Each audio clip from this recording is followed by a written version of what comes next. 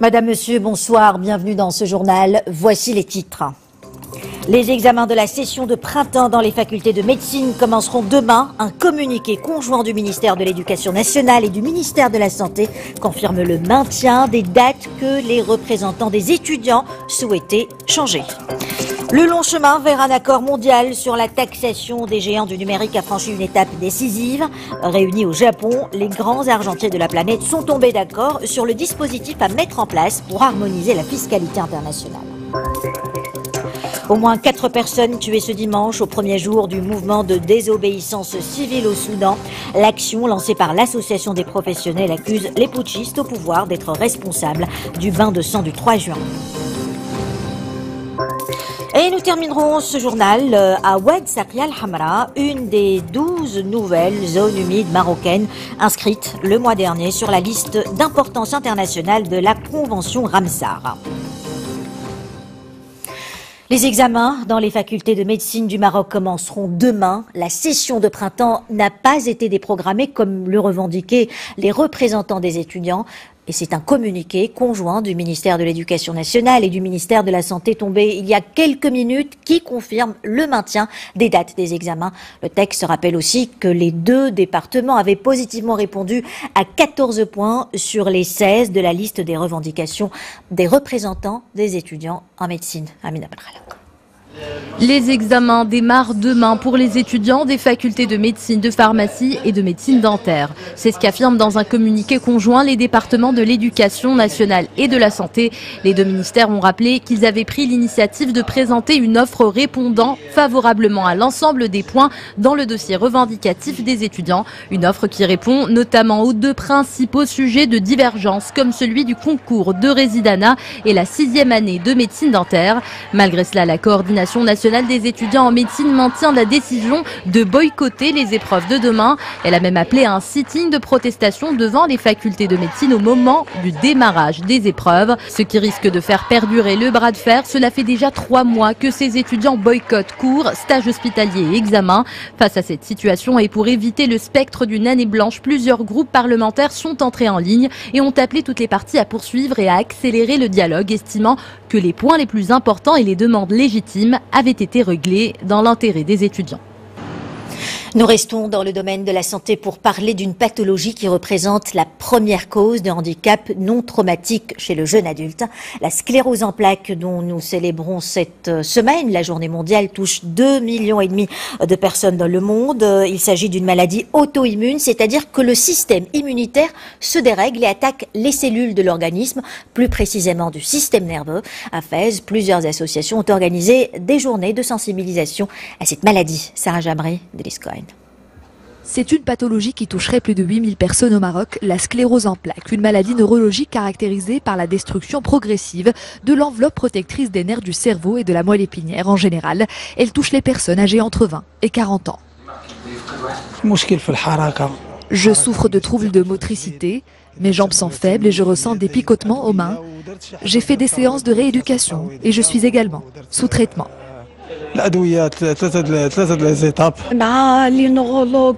Le diagnostic est tombé après plusieurs examens médicaux. Mon neurologue m'a prescrit des médicaments qui ne guérissent pas cette maladie chronique et progressive, mais me permettent de vivre avec au quotidien. Aujourd'hui, il n'existe pas de traitement curatif, mais plutôt des médicaments qui ont pour effet de réduire la fréquence des poussées inflammatoires et l'apparition de nouvelles lésions. Chaque année, les associations de malades organisent des journées de sensibilisation autour de cette maladie.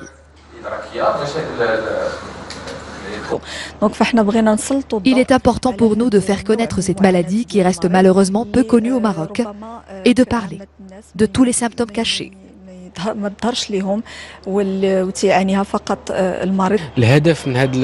Notre objectif principal est la sensibilisation, sensibiliser au diagnostic précoce. C'est très important dans la prise en charge de la maladie, car il existe aujourd'hui au Maroc des traitements très efficaces.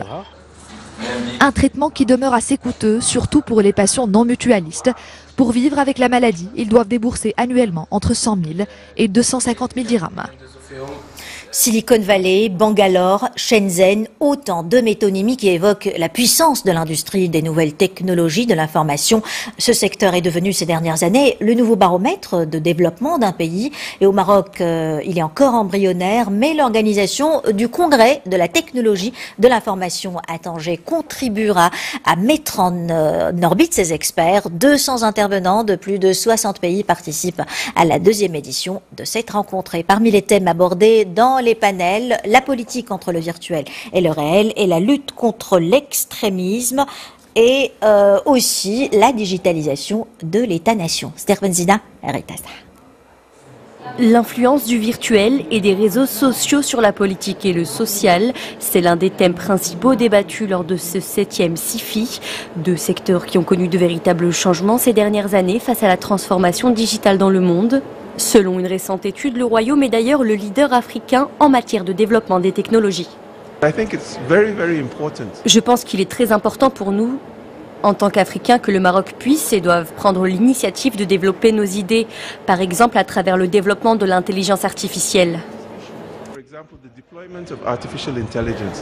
Durant ce forum de deux jours auquel ont pris part près de 300 conférenciers venus du monde entier, les participants ont appelé à adopter des lois et à établir des règles régissant l'usage et le stockage des données personnelles par les grandes multinationales du numérique, mais également à éradiquer l'extrémisme et la violence sur Internet. Nous avons eu des discussions sur les guerres cybernétiques. Nous devons mettre en place des traités sur les types d'armes technologiques utilisées lors de ces guerres cybernétiques. Quelles sont celles qui sont autorisées, celles qui ne le sont pas? Co-organisé avec l'Inde, ce 7e congrès de la technologie et de l'innovation a permis la mise en place de nombreux partenariats, notamment entre l'Observer Research Fund of India et l'Université internationale de Rabat. Et ce sujet, justement, a été l'un des thèmes phares du G20 euh, ce week-end. Euh, le long chemin vers un accord mondial sur la taxation des géants de ce secteur a franchi une étape décisive. Réunis au sud du Japon, les grands argentiers de la planète sont tombés d'accord sur le dispositif à mettre en place pour harmoniser la fiscalité internationale. Ils ont promis un accord final sur la taxation des entreprises du numérique d'ici 2020. Amin Arriver à un accord définitif en 2020, c'est ce qu'ont décidé les économies majeures de la planète.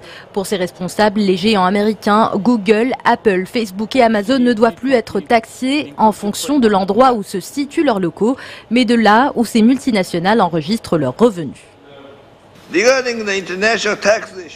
Au sujet de la taxation internationale, nous avons réaffirmé l'importance d'une approche multilatérale pour lutter contre l'évasion fiscale. Et si le consensus a dominé à ce sujet, c'est en partie grâce au changement d'attitude des États-Unis. Un seul point d'interrogation subsiste. Comment instaurer de manière efficace la fiscalité du numérique? L'OCDE recommande d'harmoniser le calcul et le taux d'imposition entre pays. J'admets qu'il faut éviter des solutions euh, d'État par État pour envisager une politique internationale, une politique commune adoptée au niveau de l'OCDE. La taxation des GAFA été érigée en priorité car ces firmes représentent un immense pouvoir économique et financier. À titre d'exemple, ces quatre multinationales pesaient à elles seules 1675 milliards de dollars en 2015 contre 1131 milliards de dollars pour toutes les entreprises françaises cotées au CAC 40. Autre titre de ce journal, la situation au Soudan. Au moins quatre personnes ont été tuées ce dimanche, au premier jour du mouvement de désobéissance civile. L'action lancée par l'association des professionnels accuse les putschistes au pouvoir d'être responsables du bain de sang du 3 juin et de la répression qui s'est poursuivie les jours suivants. Rita Saha pour les détails. Pierre et brindilles entassées les unes sur les autres dans les rues quasi désertes d'Omdurman, plus grande ville du Soudan. Plusieurs barricades de fortune ont été installées par les habitants. Une manière pour eux de poursuivre la contestation face aux militaires. Et pour cause, lors d'un nouveau sit-in organisé le 3 juin dernier, une centaine de civils auraient trouvé la mort suite à la répression de l'armée.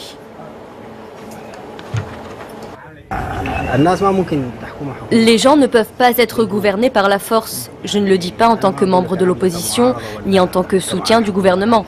Mais les gens ne veulent pas de ce gouvernement. Et comme vous pouvez le voir, les rues sont vides, les magasins sont fermés. Personnellement, je veux un gouvernement civil. Nous n'avons pas fermé notre boulangerie parce que nous distribuons de la nourriture aux gens pour qu'ils puissent manger. Mais la désobéissance civile se poursuit. Même son de cloche dans la capitale, l'appel à la désobéissance civile lancé par l'association des professionnels soudanais a fait écho dans les rues barricadées de Khartoum, une opération qui a causé la mort de quatre personnes dans les deux principales villes du pays. Selon plusieurs contestataires, elles auraient été tuées par les milices du Conseil militaire de transition. Les barrages ont pour objectif d'envoyer un message aux populations en affirmant que nous n'avons pas de problème personnel et que nous ne sommes contre personne, car nous souffrons nous-mêmes. La principale raison des blocages est d'empêcher les gens d'aller au travail. Et nous avions déjà fait la même chose auparavant pour empêcher les gens d'aller travailler. C'est une sorte de pression.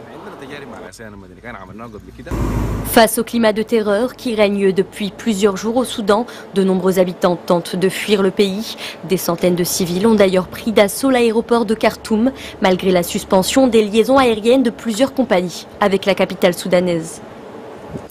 Des milliers de Vénézuéliens quittent leur pays. Dès les premières heures euh, de samedi, ils se sont précipités sur les points euh, de la frontière reliant le Venezuela et la Colombie. Et les longues files d'attente étaient visibles tout au long de la journée. Euh, vendredi, le président socialiste Nicolas Maduro avait ordonné la réouverture de la frontière avec la Colombie dans l'état de Tachira, à l'ouest, près de laquelle la communauté internationale avait massé son aide humanitaire refusée par Caracas. Hong Kong a vécu aujourd'hui l'une des manifestations les plus importantes depuis sa rétrocession à Pékin en 1997. Un Chinois sur dix dans cette gigantesque ville de 6 millions d'habitants ont battu le pavé pour dénoncer un projet de gouvernement local euh, de faciliter des extraditions vers la justice de la Chine continentale. Et toujours en Asie, euh, le Kazakhstan élit euh, le successeur de Nour Sultan Nazarbayev. Euh, près de 10 millions d'électeurs étaient appelés dans les bureaux de vote au Kazakhstan pour un scrutin présidentiel anticipé inédit. Il s'agit de la première élection dans le pays dans, dont le président Nour Sultan Nazarbayev, au pouvoir depuis 29 ans, est démissionnaire à la surprise générale en mars dernier. Son absence à ce scrutin ne signifie pas que le suspense sera de mise. Son successeur désigné, le président par intérim, Kassim Jomat Tokayev, est quasi assuré de l'emporter. Et nous revenons au Maroc où la saison de la moisson bat son plein. Selon les prévisions du ministère de l'Agriculture, la production céréalière serait en baisse de près de 20% cette année. Exemple de la région de Casablanca où les agriculteurs, euh, comme dans le reste du royaume, s'attendent à une moisson modeste en raison de la faible pluviométrie. Amine Haddo et Amina Benralak. La moisson touche à sa fin dans ce champ de céréales près de Casablanca. Sauf que les attentes des agriculteurs de la région ne sont pas au rendez-vous. La récolte est moins abondante que les résultats escomptés. La moisson a commencé pendant Ramadan, elle touche aujourd'hui à sa fin. Nous constatons que la production a connu un ralentissement. En comparaison avec l'année dernière, les rendements sont en baisse. Nous n'avons eu de la pluie qu'au début de la saison. Les agriculteurs tentent aujourd'hui de protéger le fruit de 7 mois de dur labeur. Préserver la qualité des céréales passe par la lutte contre les parasites et les maladies. 120 quintaux sur 6 hectares ont été récoltés sur cette parcelle. Lorsque la saison est bonne, nous récoltons le double, parfois jusqu'à 300 quintaux.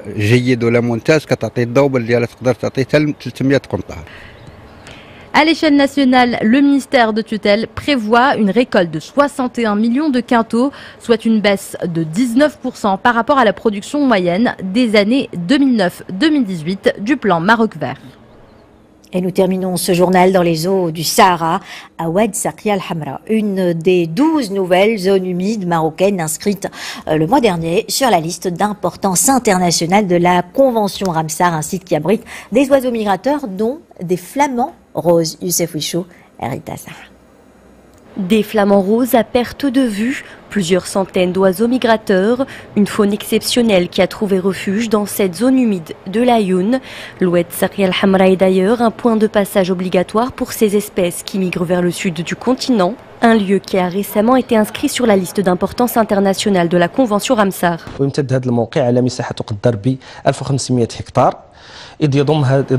La superficie de cette zone est de 1500 hectares.